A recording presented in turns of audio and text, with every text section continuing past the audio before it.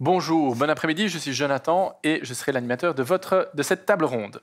Vous le savez, vous l'avez lu, vous l'avez entendu, on vous l'a dit et redit, bien utiliser ces données, ça vaut de l'or.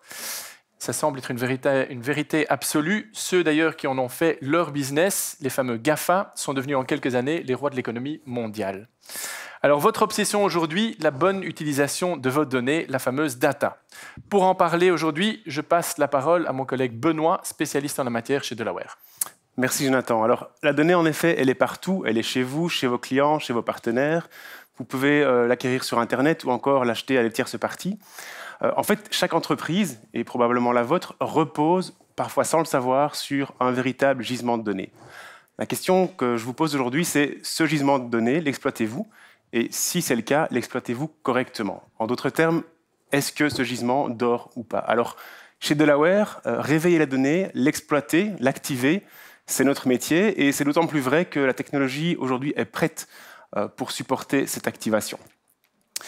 Euh, mais il ne s'agit pas évidemment que d'un défi technique. Euh, pour que la, donnée en fait, euh, puisse vraiment générer toute sa valeur, il y a un certain nombre aussi de barrières organisationnelles, humaines, qu'il s'agit de lever. Et c'est d'autant plus vrai dans les sociétés qui ont pignon sur rue mais qui ne sont pas nées digitales. Alors aujourd'hui, on a avec nous Massimo de la régie Média Belge, donc l'équivalent de France Média Publicité. Euh, Massimo est entièrement immergé dans cette problématique. Delaware euh, l'accompagne dans cette transition. Et aujourd'hui, Max, tu as une histoire à nous raconter. Oui, tout à fait.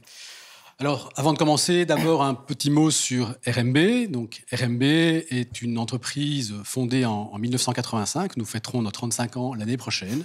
RMB signifie la régie des médias belges. Donc, comme son nom l'indique, nous sommes une régie publicitaire. Cela signifie que nous vendons des espaces publicitaires pour le compte euh, d'éditeurs comme la RTBF, donc c'est le service média audiovisuel public qui est le pendant euh, francophone belge de ce qu'est France Télévisions en France. Nous travaillons également pour la radio euh, Énergie, donc la filiale belge du groupe Énergie, que vous connaissez tous, et également pour des chaînes de TV de groupe AB. Nous sommes actifs dans les médias de télévision, radio et digital.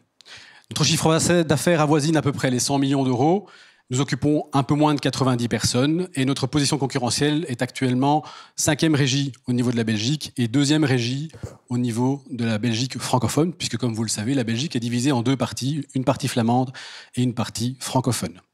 Alors, de manière très simplifiée, si je devais vous expliquer euh, notre activité, nos clients, lorsqu'ils nous contactent, euh, ce sont donc des annonceurs comme BMW, Peugeot, les magasins Carrefour, BNP Paribas, et ils souhaitent acheter du temps d'antenne de nos éditeurs pour contacter des consommateurs. Alors, ces consommateurs, ils souhaitent les atteindre au travers d'un message publicitaire et les inviter forcément à consommer leurs produits. La connaissance que nous avons aujourd'hui de nos consommateurs est une connaissance basée sur des panels représentatifs de la population euh, belge francophone et qui, par voie d'extrapolation, constituent ce qu'on appelle l'audience. Nous sommes donc des vendeurs d'audience pour des annonceurs. Et cette audience, qui est donc une audience extrapolée, se dirige en général vers ce qu'on appelle des programmes de qualité. Au plus les programmes que nos éditeurs diffusent seront de qualité, par exemple The Voice sur TF1 ou The Voice sur la RTBF, la Coupe du Monde en Belgique avec les Diables Rouges ou alors avec les Champions du Monde en France, c'est selon le côté de la frontière où vous vous situez. Au plus les programmes seront de qualité, au plus l'audience sera élevée au plus l'audience sera élevée, au plus les chiffres d'affaires le seront. On peut donc dire que nous avons un business model basé sur la qualité des programmes. C'est la raison pour laquelle chez RMB on dit que content is king. Dans, ce, dans cet écosystème, les process sont extrêmement manuels et le relationnel achat-vente extrêmement humain. Mais ça, c'était avant. En effet, depuis à peu près 2010, on constate un shift dans notre industrie, un shift à deux niveaux. Tout d'abord, au niveau de la consommation des médias. Pour étayer ceci, si je vous pose une question et je vous demande qui a regardé la télévision hier soir? Bon, ok, il y avait Macron. Disons, qui a regardé la télévision avant-hier soir? Qui a écouté la radio ce matin? Qui est abonné à Netflix, Spotify, Apple Music ou Ovio? En Belgique Vous aurez compris, la consommation des médias se fait de moins en moins de manière traditionnelle, ce qui provoque une chute des audiences et donc une chute du modèle économique potentiel pour une régie comme RMB. Au-delà de cela, et je vous expliquerai plus tard pourquoi, il y a des nouveaux paramètres de valeur qui ont été instaurés dans les techniques de commercialisation par la plupart des GAFA. Et ceci nous invite à nous repositionner. Quelques chiffres de 2010 à 2020 pour étayer ceci. En télévision, l'audience en live a baissé de 15%. L'audience en radio a baissé de 8%. Une étude récente a, déclaré que en 2016, 1% des personnes consommaient son contenu sur des plateformes de streaming. Ce taux est passé à 12% en 2019 et 18% pour les populations les plus jeunes. Pendant toute cette décennie, les chiffres d'affaires d'RMB sont restés relativement stables, alors que le marché publicitaire était en croissance. Mais où est partie cette croissance? Vous me voyez arriver dans les acteurs digitaux. D'autres chiffres disent qu'en 2010, les investissements en digital étaient de 7% en Belgique et dépassent aujourd'hui les 35%, alors qu'en France, ce chiffre dépasse même les 50%. Évidemment, ces chiffres d'affaires digitaux sont aujourd'hui capitalisés par ce qu'on appelle les GAFA, Google et Facebook en pole position. La question, c'est pourquoi? Eh bien, durant cette décennie, les GAFA ont développé des nouveaux modèles d'affinage publicitaire et de connaissance de consommateurs basés sur de la donnée, la data et de la technologie. Notre modèle d'audience, qui est basé sur des panels représentatifs de la population, avait peu de valeur par rapport au modèle d'audience que les GAFA ont développé basé sur des données. Ils ont, eux, des données bien réelles. Ils ont votre nom, votre prénom, votre sexe, votre âge, vos comportements de surf, vos intentions d'achat, où vous voulez aller en vacances, quand vous voulez partir, ce que vous aimez, ce qu'aiment vos amis. Ils savent vous géolocaliser et ils savent même déterminer où et pour combien vous avez fait une consommation. Une personne que je connais très bien sur le sol belge a déclaré récemment que ils ont pris possession du consommateur, de son cerveau, à son portefeuille. Évidemment, les techniques de panel à côté de ce genre de techniques algorithmiques a finalement très peu de valeur. Et c'est exactement le challenge que RMB s'est fixé. C'est de construire un nouveau business model autour de la donnée. Et la question maintenant, c'est quelles sont les données que nous avons? Parce que nous avons des données, mais elles dorment. Elles dorment de manière historique, je dirais, puisque comme toute entreprise qui n'est pas née digitale et bien organisée, nous avons des données qui sont inscrites dans des reportings relativement statiques que quelques élus seulement consultent pour prendre des décisions bien humaines, au travers de reporting notamment, pour construire par exemple une stratégie commerciale. C'est évidemment devenu largement insuffisant dans l'économie digitale. Dans notre vision, nous avons l'ambition de rendre nos données vivantes, dynamiques et intelligentes et c'est au démarrage de ces données que nous construirons nos business models du futur. C'est la raison pour laquelle nous disons chez RMB que if content is king, data is queen. Donc, fort de ce constat dans la récente décennie, RMB m'a confié le challenge de la transformation digitale de l'entreprise en 2016. L'idée était à l'époque, en étant au sommet de nos revenus, de changer le toit de la maison RMB quand il fait beau, comme on dit. Nous avons mené différentes initiatives entre 2016 et 2019 qui n'ont hélas abouti à rien. Entre 2016 et 2019, c'est trois ans. Trois ans dans le monde technologique actuel, c'est un monde de différence. C'est donc dans un état relativement déprimé que je fais la connaissance d'un partenaire chez Delaware en 2019. Je lui évoque notre problématique et notre vision. Et cette personne m'est revenue quelques semaines plus tard avec un master plan qui disait en gros, c'est pas de transformer la maison, il faut en construire une nouvelle. Et ce master plan avait trois objectifs. Le premier était de construire un nouveau business model autour de la donnée, automatiser les transactions et repenser l'organisation en fonction de ces deux nouveaux paramètres. Alors Benoît, du côté de Delaware, on s'y prit comment pour lancer ce grand chantier? Oui, donc voilà, euh, Delaware mandaté pour justement concrétiser ce master plan. Alors c'est un projet, un chantier qui est complexe, conséquent, mais certainement pas irréaliste. Euh, j'en profite pour faire un parallèle avec la Tour Eiffel. Donc, à l'époque, l'idée était de construire l'ouvrage le, plus grand du monde, euh, vitrine du savoir-faire technique euh, français, et le tout était de le faire en deux ans. Alors, est-ce que c'était irréaliste? Bah, Force est de constater que ce n'était pas le cas, parce qu'aujourd'hui, 130 ans plus tard, la Tour Eiffel est toujours un des fleurons de la France, et elle n'est certainement pas prête d'être démontée. Alors, pourquoi ce parallèle avec la Tour Eiffel? Ben, Tout d'abord parce qu'elle est liée au monde des médias, donc elle est utilisée aujourd'hui comme support pour les antennes radio et de télévision, mais aussi et surtout parce que quand on lance un chantier aussi ambitieux, il y a vraiment quatre points essentiels qu'il faut toujours avoir en tête. Le premier, c'est la vision, et là, Max, tu l'as bien évoqué. Donc, une vision claire à laquelle on peut se raccrocher pendant tout le long euh, de ce chantier. Deuxièmement, c'est d'avoir des plans de réalisation très concrets. Troisièmement, d'avoir des ressources humaines et techniques qui vont permettre de concrétiser cette réalisation. Et quatrièmement, et c'est très important, euh, ne certainement pas négliger l'écosystème dans lequel cet ouvrage euh, va prendre place. Dans le cas de la Tour Eiffel, bah, il a fallu refaire l'entièreté, par exemple, du Champ de Mars, de manière à ce qu'on puisse vraiment en profiter et qu'elle puisse montrer toute sa grandeur. Alors, chez RMB, en fait, on a suivi plus ou moins le, même principe, hein, le même chemin. Donc, la vision, le management l'avait. vous vous êtes inspiré d'un modèle américain bien connu où la donnée est vraiment en son centre. Euh, et donc, fort de cette vision, ce qu'on a commencé à faire, ce sont des ateliers d'innovation où on a projeté euh, RMB dans le futur, on va dire, et on leur a demandé comment, grâce à la donnée, pourriez-vous en fait générer des nouveaux euh, flux de revenus? Voilà, ça c'était vraiment la question initiale. il y a beaucoup d'idées qui, qui, sont ressorties en fait de ces ateliers, et ce qu'on a cherché à faire, c'est de rendre ces idées tangibles, de voir est-ce que c'est réaliste, est-ce que d'autres acteurs du marché le font déjà? Et en fait, ce qu'on s'est rendu compte, c'est que, en fait, de, gros mastodontes tels que TF1 avaient déjà euh, concrétisé cette vision et, très important, en fait, ils se sont aussi inspirés de ce fameux euh, modèle américain dont, euh, dont, vous vous êtes aussi inspiré.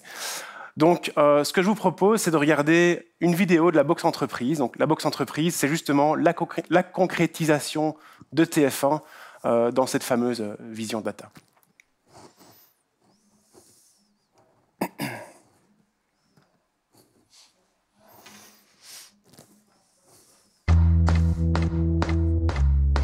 Et si vous passiez à la télé? Vous êtes dirigeant ou créateur d'entreprise, petite ou grande, et vous voulez faire de la pub en télé ou sur le digital? Rien de plus facile. TF1 Publicité crée pour vous la Box Entreprise. La Box Entreprise, c'est l'outil en ligne qui vous aide à construire votre campagne dans l'univers TF1 en fonction de vos objectifs. Dès 5000 euros, c'est possible. Et depuis votre ordinateur, c'est facile, ultra simple et efficace. La preuve. Sur la Box Entreprise, vous pouvez construire votre campagne de pub autour des programmes du groupe TF1 Selon votre problématique, vous pouvez communiquer en local ou sur toute la France. Vous indiquez la période où vous souhaitez communiquer et à quelle cible socio-démographique vous voulez vous adresser. Il y en a plusieurs à votre disposition.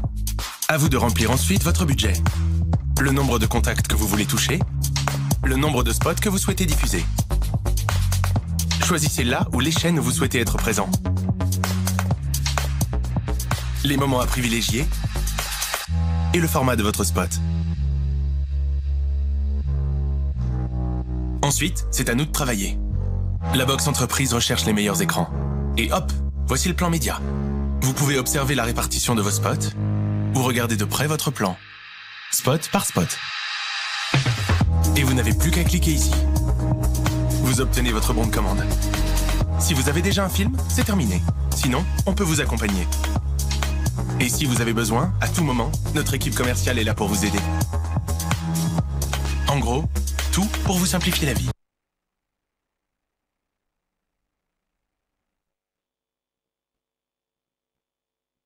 On s'est mis à rêver d'une box euh, version RMB pour le marché belge et vous savez quoi? Bah, En fait, cette box, on est en train de la réaliser.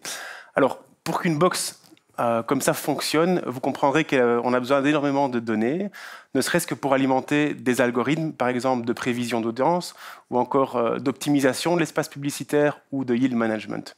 Et donc ce qu'on a fait, après notre casquette de stratège, on a mis notre casque d'architecte pour réaliser le deuxième point important, c'est-à-dire la création des plans. Euh, et donc, des plans, ça veut dire quoi? Ça veut dire tout d'abord cartographier l'ensemble des sources de données, donc les cartographier, les documenter, voir comment elles sont liées entre elles.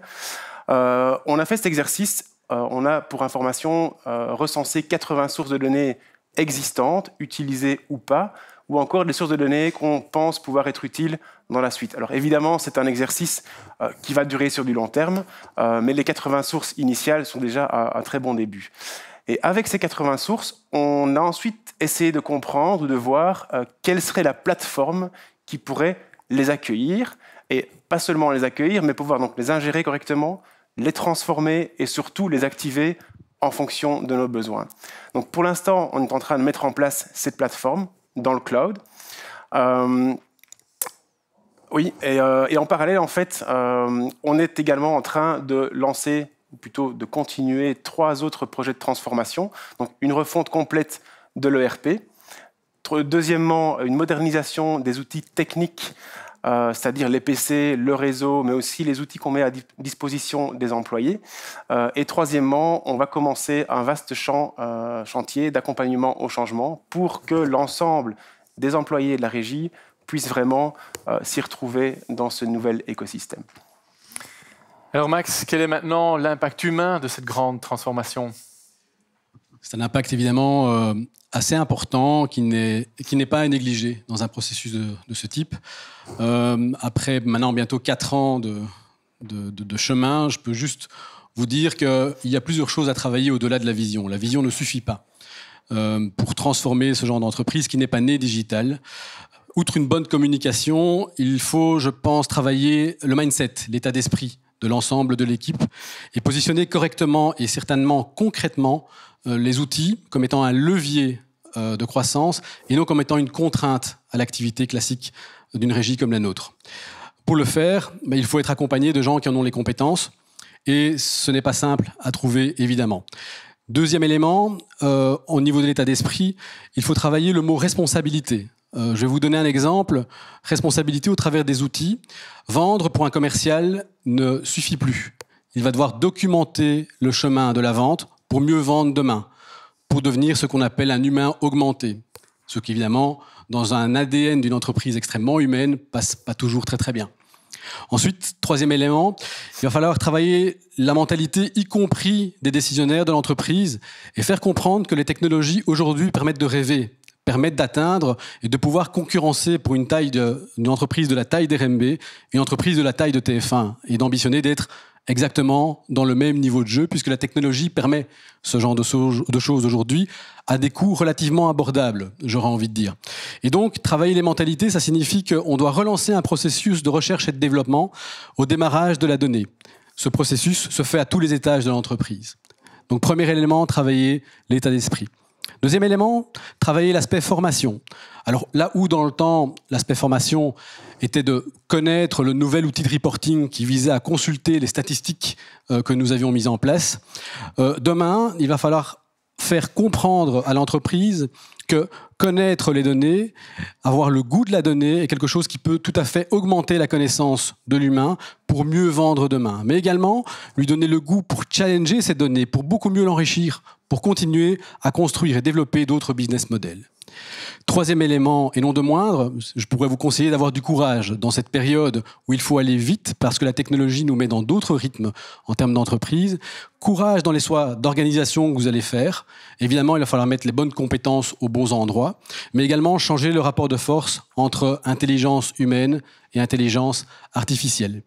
Courage également dans les décisions que vous prendrez en termes de simplification, puisque vous vous doutez bien que simplifier une offre n'est pas quelque chose qui est simple. RMB a un portefeuille de clients constitué entre 800 et 1000 clients par an en fonction des années. Et le top 400 des clients d'RMB, je peux vous dire qu'aujourd'hui, après 35 ans d'activité, il est géré de 400 manières différentes.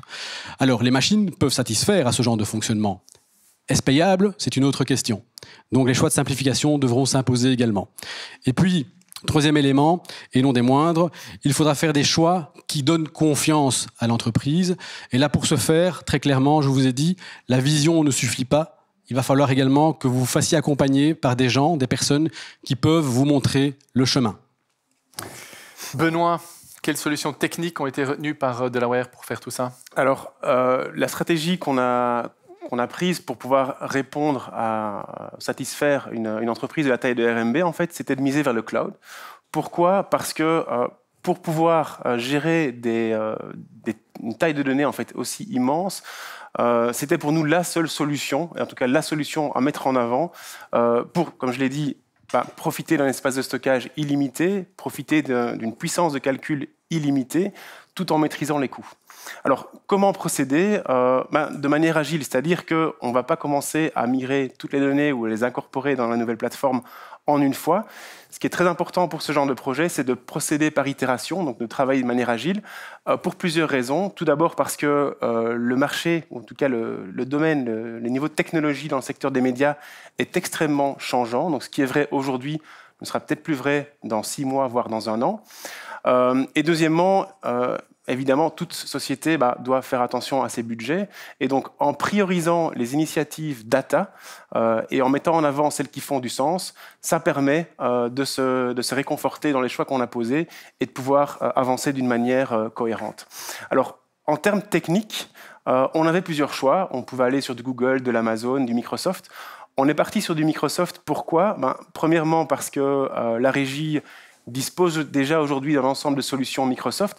Donc en termes d'intégration de données, ça allait vraiment simplifier les choses, mais aussi parce que bah, l'écosystème Microsoft euh, répondait tout simplement à l'ensemble du cahier des charges euh, que nous nous étions fixés. Alors pour ne citer que euh, certaines technologies, on a évidemment mis en place un Azure Data Lake qui allait permettre en fait d'ingérer des données sous leur format brut et que ces données soient structurées ou non structurées. On utilise Azure Data Factory pour pouvoir orchestrer ces flux de données dans la nouvelle plateforme. On utilise Azure Databricks pour pouvoir faire euh, des transformations complexes de données, pour pouvoir les visualiser également de manière technique, ou encore pour développer des algorithmes de machine learning. On a mis en place euh, Azure Synapse, qui est en fait l'entrepôt de données sur lequel on va pouvoir plugger, si je peux m'exprimer comme ça, euh, des outils de self-service reporting, donc qui vont permettre à tous les employés de RMB en fait de se créer leur propre rapport euh, et ce de manière très dynamique. Euh, et bon, je passe encore beaucoup d'autres outils. On pourra en discuter peut-être dans les questions et réponses par la suite. voilà. Donc, en tout cas, ce qu'il faut retenir, c'est que l'écosystème Microsoft est vraiment très vaste et tout à fait adapté à une gestion centralisée de la donnée. Conclusion, très rapidement. On est Alors, dedans. La donnée, elle est vraiment partout. Donc, si vous ne l'exploitez pas encore, réveillez-la. Euh, deuxièmement, la technologie est prête, elle est mature. Donc, faites-en lever de croissance de votre entreprise. Procédez de, manière agile pour être certain d'avancer euh, dans la bonne direction tout en maîtrisant vos coûts. Ne négligez pas la notion de change dans ce processus. La vision ne suffit pas. Et enfin, construire des nouveaux business models autour de la donnée, c'est quelque chose qui est aujourd'hui possible. Mais évidemment, euh, il ne faut pas euh, euh, faites-vous entourer, si vous n'avez pas les compétences internes pour euh, y arriver, n'hésitez pas. Faites-vous accompagner par des partenaires, pas des consultants, pas des fournisseurs, mais des partenaires qui auront cette capacité à vous montrer le chemin, qui a un chemin qui est long, qui est fastidieux, qui est difficile, ou qui pourront vous accompagner dans le projet, dans ses leviers et dans ses pièges. J'ai l'impression d'avoir compris, Max, que vous avez trouvé ce partenaire en Delaware, si j'ai bien compris la relation avec Benoît. Pour l'instant, oui. Top, super. Alors, on se dépêche parce qu'on n'a plus que deux minutes et on passe aux questions-réponses. Alors, il y a Charlotte qui nous pose la question est-ce que ça demande une autorisation pour utiliser une source? Est-ce compliqué à en avoir une? Alors ça dépend des genres de sources qu'on souhaite euh, exploiter évidemment. La, réponse est oui.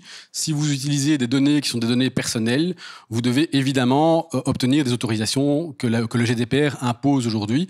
Euh, je vous donne un exemple. Si euh, je voudrais avoir votre nom, votre prénom et votre sexe, je vous en demander l'autorisation.